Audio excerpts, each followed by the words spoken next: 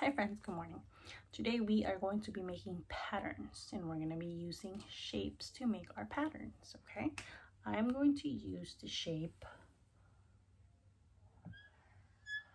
circle and then a triangle, another circle.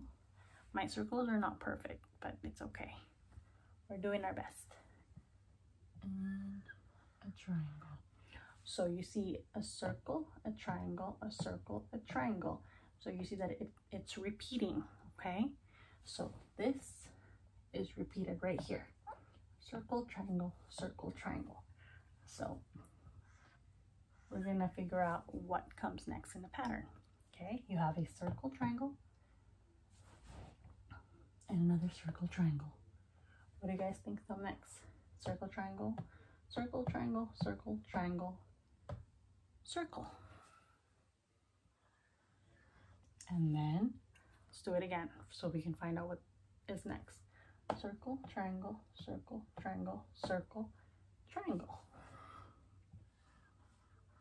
Okay, now I'm going to do another one that's, um, there's three in the pattern, okay? There's three different shapes in the pattern. Ready? Square, oval, triangle, square, oval, triangle. What do you think comes next? So this is your pattern. I'm going to show you these three.